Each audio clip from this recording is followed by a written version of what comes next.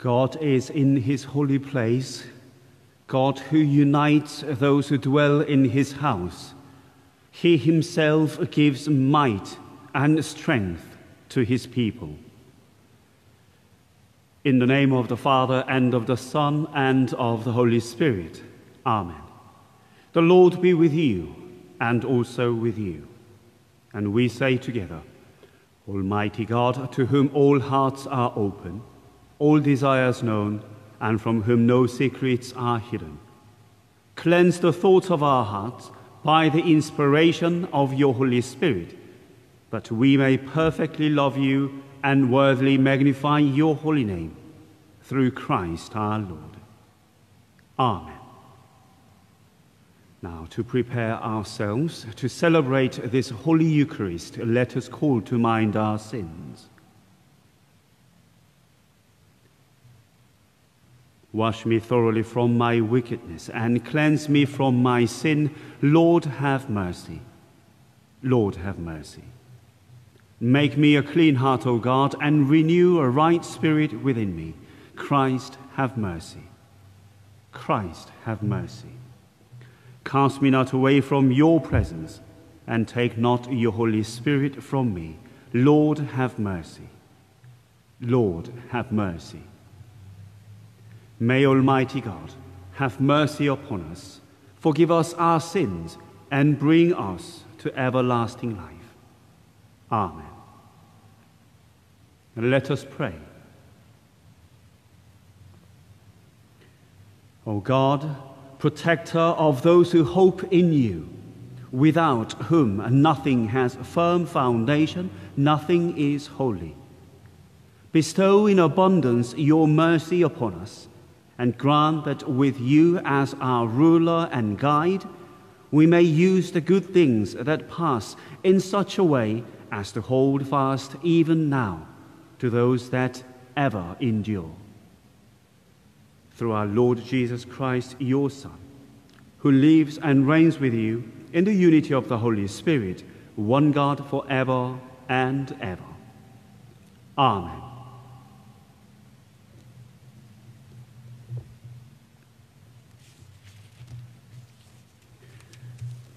A reading from the prophet Jeremiah.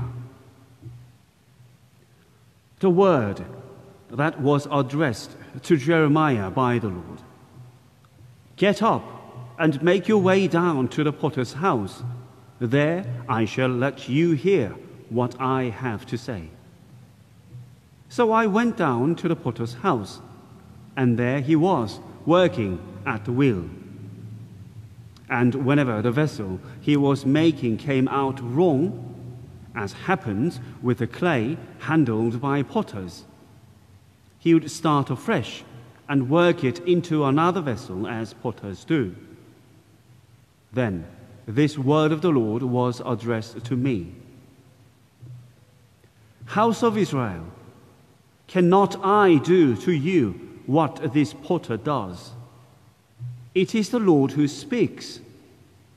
Yes, as the clay is in the potter's hand, so you are in mine, house of Israel.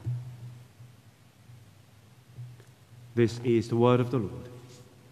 Thanks be to God. And response to the psalm He is happy who is helped by Jacob's God. He is happy who is helped by Jacob's God. My soul, give praise to the Lord. I will praise the Lord all my days. Make music to my God while I live. He is happy who is helped by Jacob's God. Put no trust in princes, in mortal man, in whom there is no help. Take their breath, they return to clay, and their plans that day come to nothing. He is happy who is helped by Jacob's God. He is happy who is helped by Jacob's God, whose hope is in the Lord his God, who alone made heaven and earth, the seas, and all there contain. He is happy who is helped by Jacob's God. Alleluia, Alleluia. Open our heart, O Lord, to accept the words of your Son. Alleluia.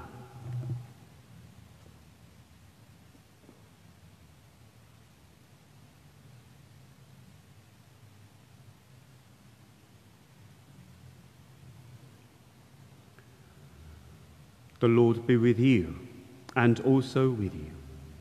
A reading from the Holy Gospel according to Matthew.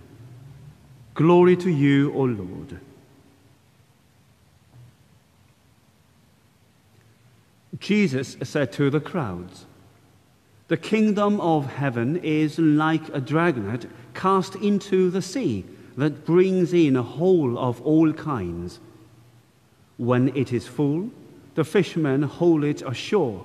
Then, sitting down, they collect the good ones in a basket and throw away those that are no use. This is how it will be at the end of time. The angels will appear and separate the wicked from the just to throw them into the blazing furnace where there will be weeping and grinding of teeth.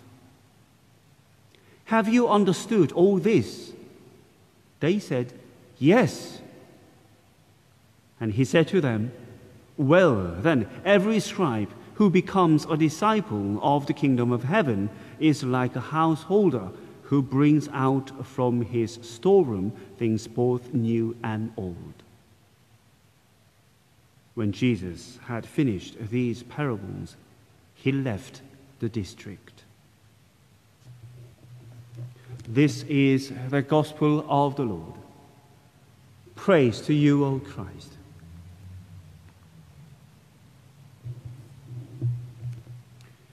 May I speak in the name of the Father and of the Son and of the Holy Spirit.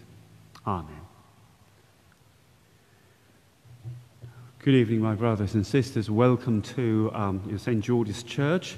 Um, this is our Thursday Mass. Um, my name is Father Taemin, and I'm the vicar of this parish. And a warm welcome to, um, to all those, our regular you know, worshippers, those who are regularly tuned in to our live streaming, and also um, those who are new to us. And, and in particular, those who may watch this video later um, on our Facebook page or from my, um, you know, the YouTube channels.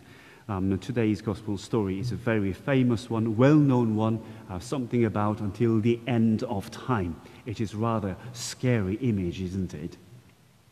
At the end of the time, the angels will appear and then they will collect, they will separate the wicked from the just. And then, then the angels will throw them into the, the, you know, the burning furnace you know, the blazing furnace where there will be weeping and grinding of teeth. That is um, kind of a scary image. And ironically, well, not ironically, because this is um, the message that we heard from our Lord Himself. What we know, sometimes, you know, not always though, but um, you know, many preachers actually using this particular image to give some warning to the faithful. This is what may happen. This is what will happen at the end of time. And they always add some more. And then, therefore, you must actually do this. Um, yeah, sometimes I have to say it works. It may work, or sometimes may not.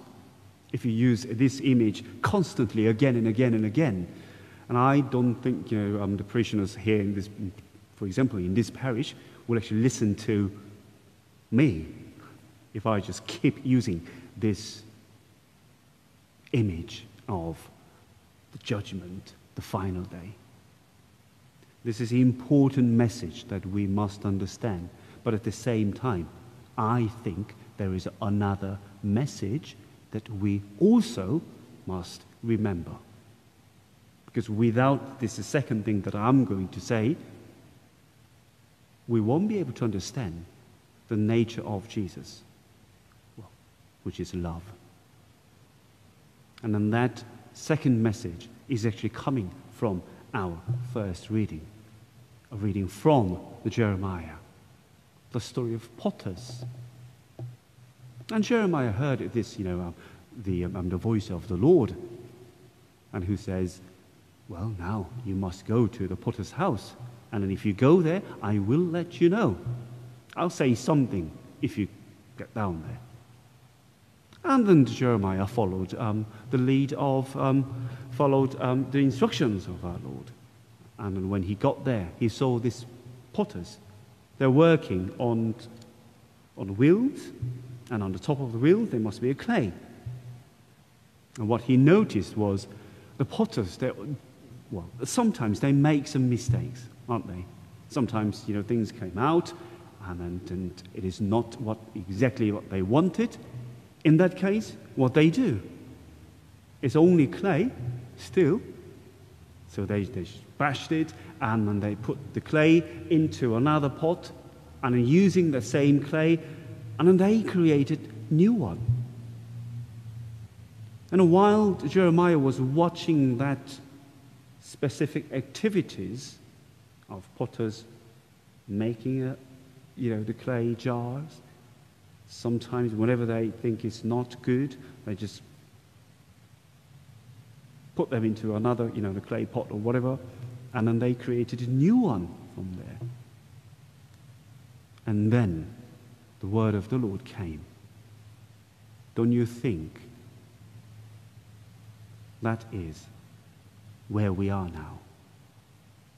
The potters, they have clay in their hands. So do I. I have my people, my chosen, the people of Israel, the house of Israel. You are in my hand. If I think the outcome is not good, I will mold you again. I will give you always the second chance because I am the Lord who created the earth and heavens, and I'm patient. And then I love all of you. Therefore, I will give you another chance. Of course, when time comes, the message of the Lord is clear. When time comes, the angel will appear and he will separate the wicked from the just. That is as clear as the sky or whatever. But still, we are in the middle of that. We are still walking towards the time. And while we are walking, while we are on our journey together, we must not forget that our Lord is patient. And what you and I need to do is whenever we realize that we are not in the right form, we need to go back to our Lord, who is generous and who is patient and who is all loving. And He will give us a second chance. How many times God will give us that second chance? Three, four times? No. He will never stop giving me a second chance. As Jesus explained to Peter, how many times do I need to forgive? Seven times? No, it's more than that. So, my dear brothers and sisters, this lovely um, Thursday um, you know, evening where I am now in, in um, Enfield, in Freezywater, this whole area, possibly in, in whole um, southeast you know, um, England. We had a beautiful day, the glorious day. It's really, really hot day actually. While we are enjoying this wonderful weather together, we shall think about our Lord as well. He is ever kind, patient, and loving. And He will give us the second chance if necessary. Because of that, you and I, in this afternoon, well, in this early evening, we can say, Thanks be to God. May God bless us all in our journey together. We may daily be renewed by His love. In the name of Father, Son, and Holy Spirit. Amen. Now let us pray for the church and for the world and for ourselves. Let us pray for the church throughout the world. We pray for all the Christian leaders in particular. We pray for Pope Francis, Justin Welby, Stephen Cottrell, um, Archbishop of York and Canterbury, and also um, Bartholomew, the ecumenical patriarch. We also pray for all other Christian leaders. And also, we pray for our bishops as they lead us. Pray for Sarah, the bishop of this diocese, and Rob Wickham, our area bishop. Pray for all those who dedicated um, their lives to the service of God, both ordained and laity, and then those who are discerning their vocation at the moment. Lord, in your mercy, hear our prayer. And we continually pray for the world where we live. We pray for peace and prosperity and security and safety. Pray for those who are suffering from war and terror. People in the Middle East and in Northern Africa. People in North Korea and China. Pray for those who are wrongly oppressed because of their political opinions are different from others. Maybe they have different religions. Maybe they're different by their color. Pray for all those who are wrongly judged and oppressed. May they see peace and justice be done in their place. Lord, in your mercy, hear our prayer.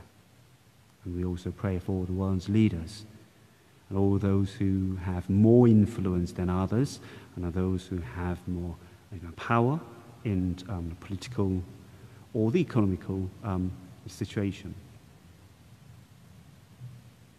They may use what they have faithfully and honestly and diligently they may bring peace, love, and unity rather than hatred, division, and difficulties.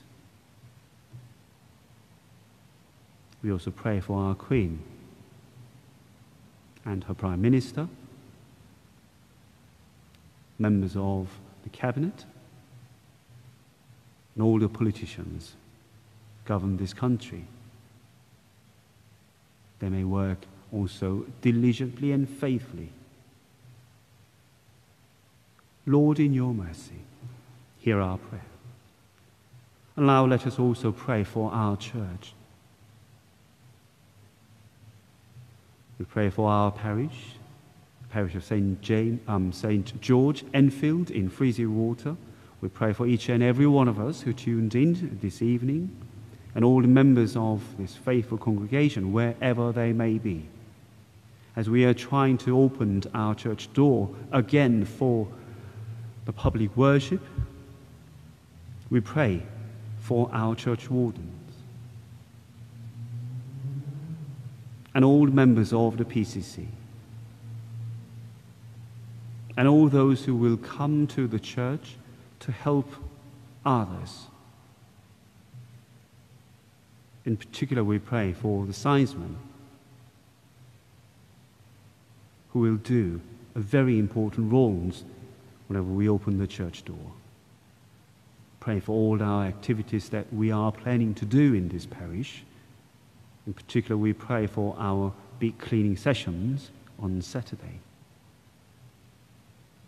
We may be able to get together, feeling that we are all connected. We may ever enjoy the joy of preparing ourselves for the worship. Also, continually pray for those who have to stay at their home, in their homes, those who need to be still isolated, those who are classified as vulnerable groups. They may also find peace and joy. Lord, in your mercy, hear our prayer. And we also pray for our neighboring Christian churches around us. We pray for the, um, um, the Albany Church, local Methodist and Baptist church around us. Pray for our neighboring parishes, parish of St. Peter and Paul's, parish of St. James, and Jesus Church in Forty Hall. We remember in our prayer all their religious leaders, ministers and vicars, and in the faithful. Lord, in your mercy, hear our prayer. And we also pray for those who are in particular need at this time, those who are unwell in body, mind, and soul. Pauline Stathers, Doreen Flint, Diana Jones, Barbara Baker, Luke Sheehan, Claudia Bonner, Patricia Maloney, Violet Pockrant, Susie Atheno, Father Alan Cross, Emma Evans, Angela Bell, Heather Anderson, Kathleen Hawkins, Patricia Ray, Maudie Fox, Dory Lynch, Maureen, um, Maureen Rosario, Michael Shine, Cindy Hart, Sergit Tosun, Anne Bland, Benny Watts, Angela Fairclough, Catherine McGuigan, Robert Gerson, Brian, Aaron Deering, Father Brian McMahon, and baby Unu Chung.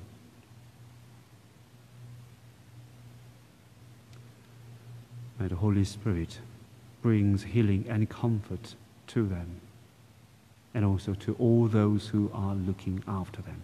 They may hold fast the message of hope and healing.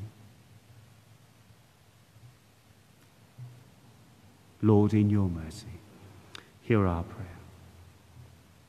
And also we pray for the faithful departed, Sue Lee, Robert Keogh, Susan Smith, Marilana Pericilius, Phil Fertrell, Peggy Martin, and Paul Griffiths.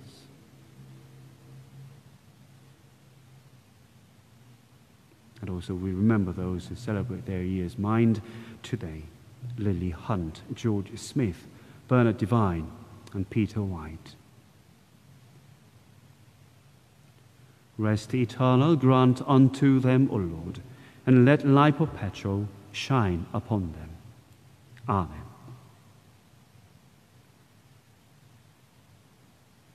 And now, in silence, we humbly commend our own private prayers and petitions to our Heavenly Father.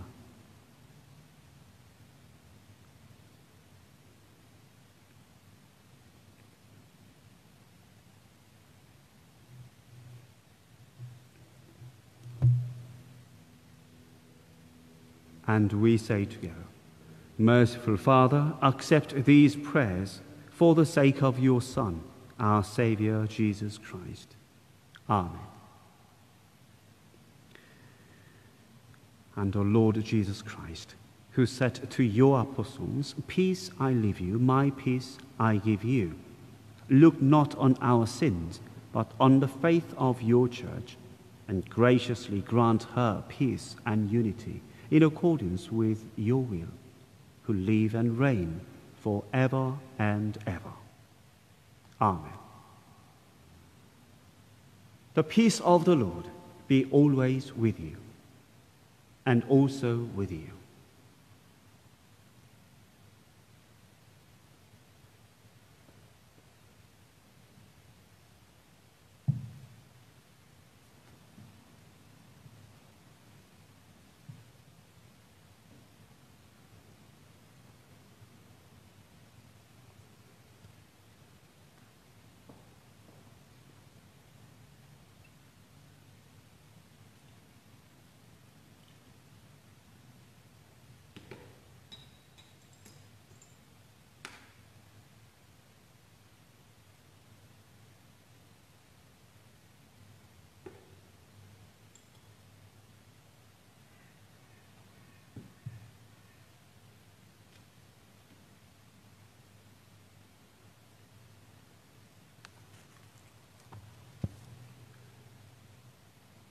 Blessed are you, Lord God of all creation. Through your goodness we have this bread to set before you, which earth has given and human hands have made.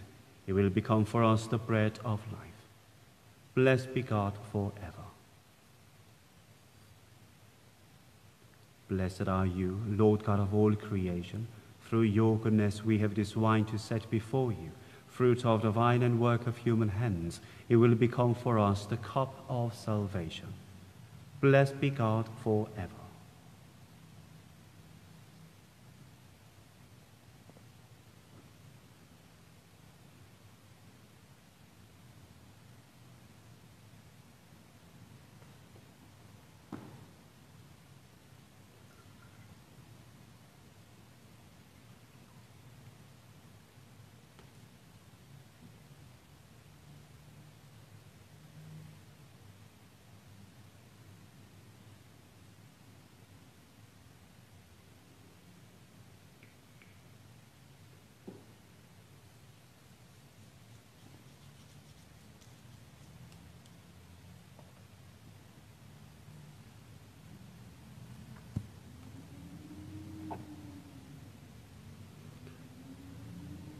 The Lord be with you, and also with you.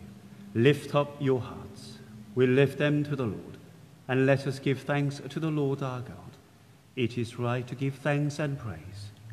It is indeed right, it is our duty and our joy, at all times and in all places, to give you thanks and praise.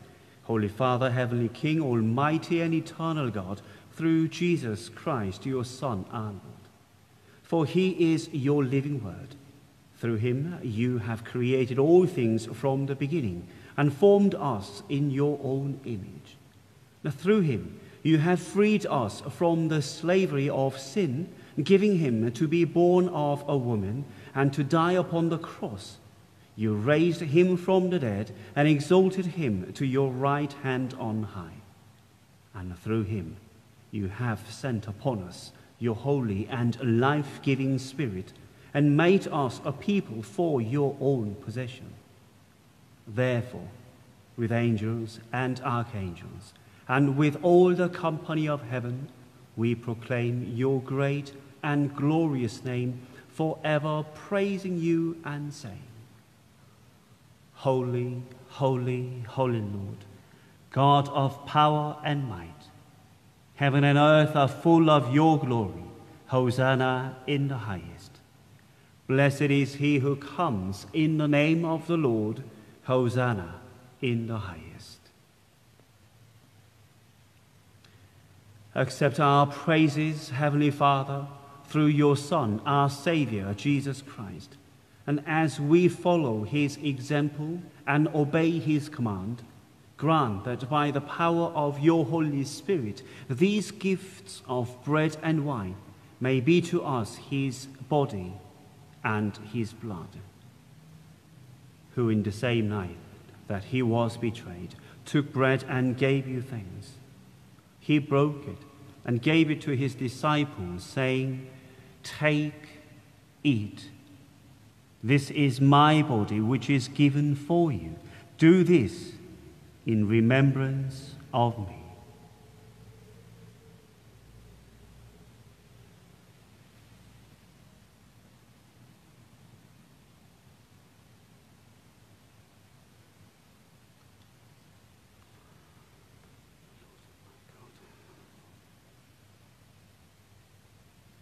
In the same way, after supper, he took the cup and gave you thanks. He gave it to them and saying, Drink this, all of you. This is my blood of the new covenant, which is shed for you and for many for the forgiveness of sins. Do this as often as you drink it in remembrance of me.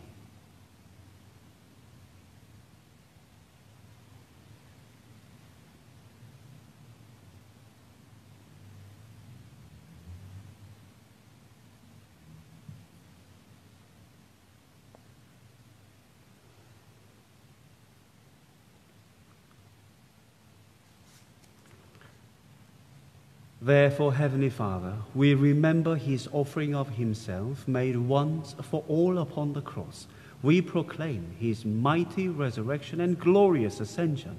We look for the coming of your kingdom. And with this bread and this cup, we make the memorial of Christ, your Son, our Lord. Great is the mystery of faith. Christ has died, Christ is risen, and Christ will come again. Accept through him, our great high priest, this our sacrifice of thanks and praise. And as we eat and drink these holy gifts in the presence of your divine majesty, renew us by your Spirit, inspire us with your love, and unite us in the body of your Son, Jesus Christ our Lord. Through him and with him and in him, in the unity of the Holy Spirit, with all who stand before you in earth and heaven, we worship you, Father Almighty, in songs of everlasting praise. Blessing and honor and glory and power be yours forever and ever. Amen.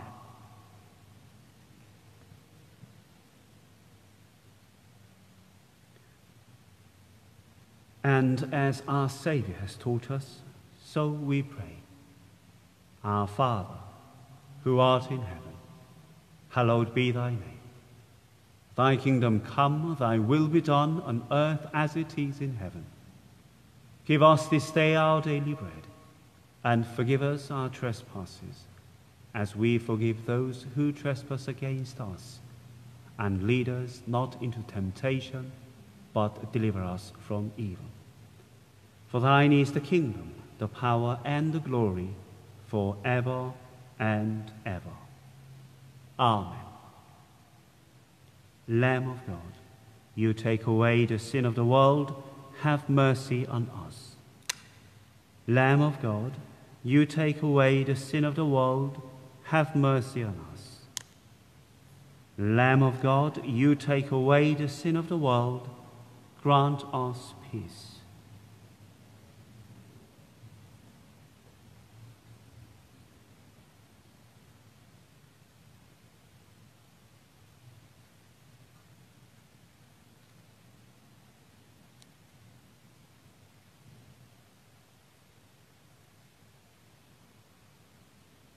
This is the Lamb of God who takes away the sin of the world. Blessed are those who are called to his supper. Lord, I'm not worthy to receive you, but only say the word, and I shall be healed.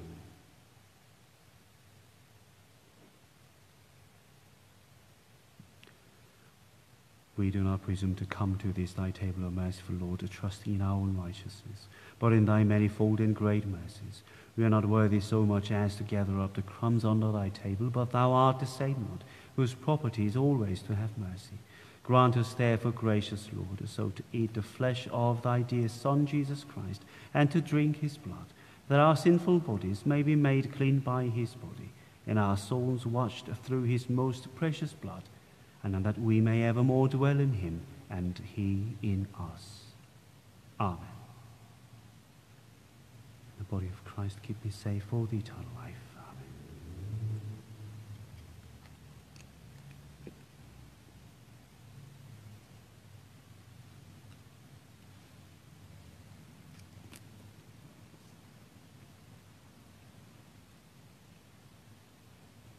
The blood of Christ keep me safe for the eternal life.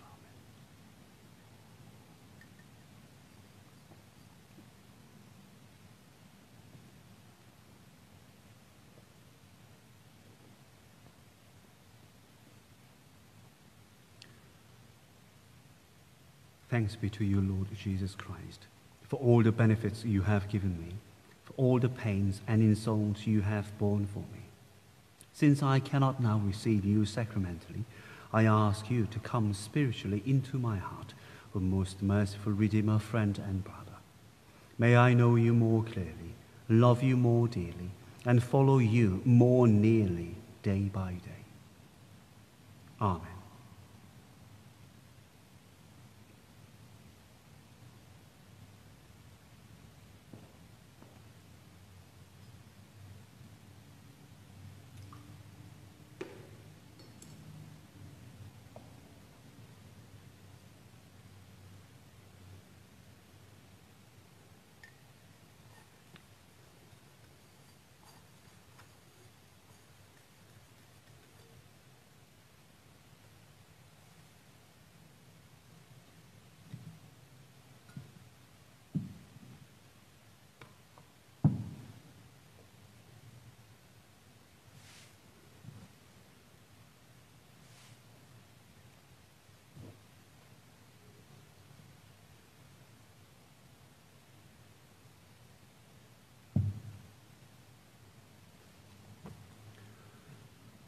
Let us pray.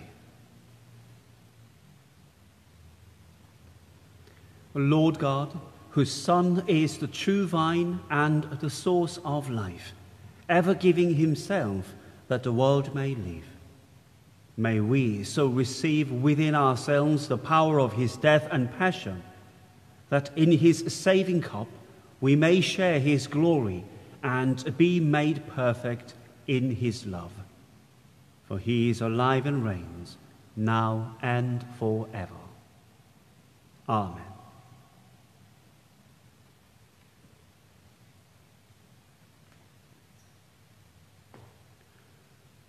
The Lord be with you and also with you. The peace of God, which passes all understanding, keep your hearts and minds in the knowledge and love of God and of His Son, Jesus Christ our Lord.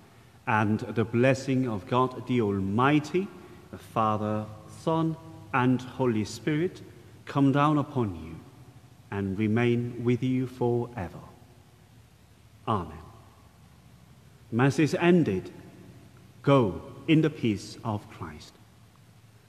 Thanks be to God.